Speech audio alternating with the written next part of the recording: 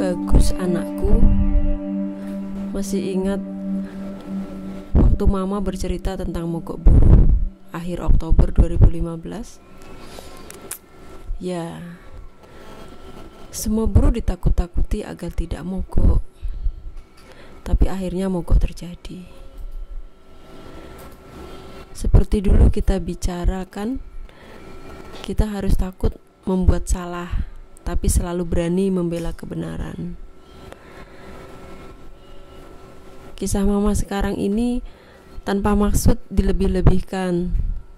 Terasa mirip di film-film. Mungkin kamu pernah lihat di TV. Mama dan teman-teman mama kan memiliki hak untuk sejahtera.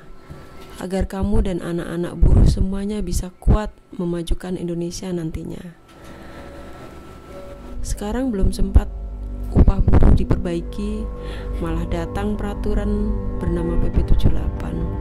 Jadilah mama dan ribuan buruh protes.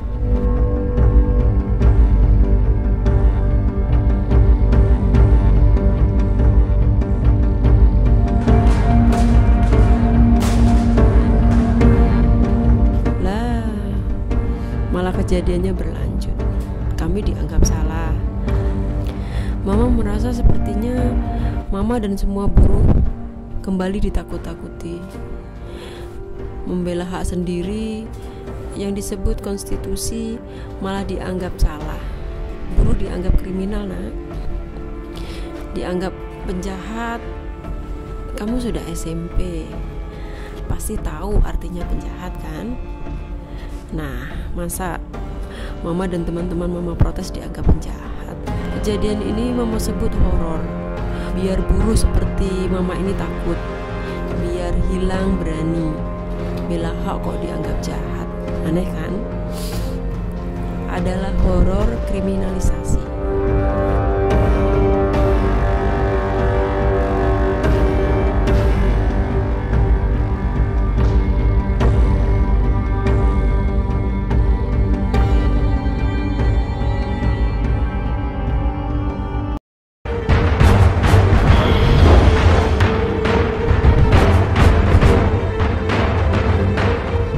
Waktu itu tanggal 30 Oktober 2015 26 orang ditangkap dijadikan tersangka. Di pengadilan teman-teman mama bukan menjadi hakim juga bukan menjadi jaksa yang menuntut. 26 orang semua dijadikan terdakwa. Bagi mama pengadilan ini sebenarnya bukan hanya untuk 26 orang Pengadilan ini mengadili nama dan semua buruh yang membela hak yang menolak PP 78.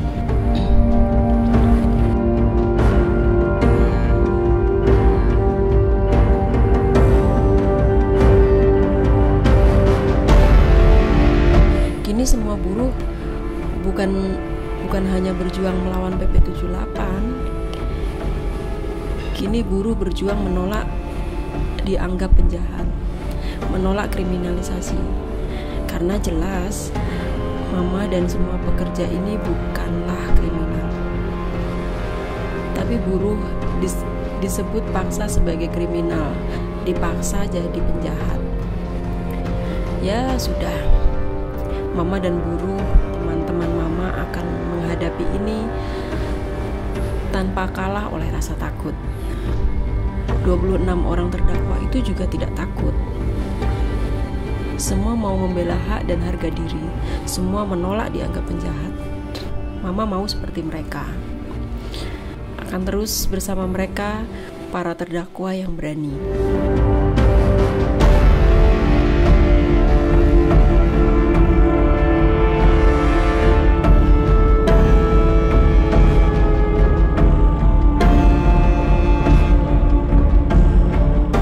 Intimidasi dan tekanan yang bertubi-tubi, penjara di hadapan mata, bahkan preman-preman yang dibayar untuk membantai dan membunuh buruh, dalam aksi-aksinya tidak akan pernah menyurutkan buruh untuk terus berjuang.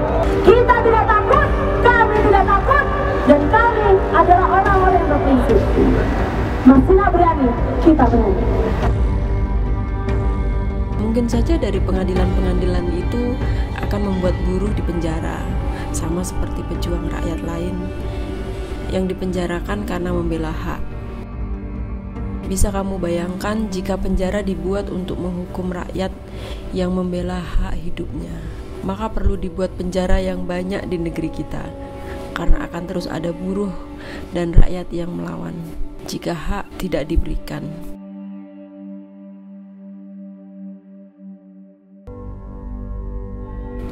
Anakku, Mama dan para buruh ingin semua horor ini diakhiri. Ingin agar negeri ini berubah baik. Kami menolak PP 78, melawan kriminalisasi, menolak di penjara, dan terus berjuang agar negeri kita jadi baik pada rakyatnya sendiri. Selama buruh dan rakyat erat berjuang bersama, Mama yakin masa depan Indonesia adalah oleh dan untuk rakyatnya sendiri.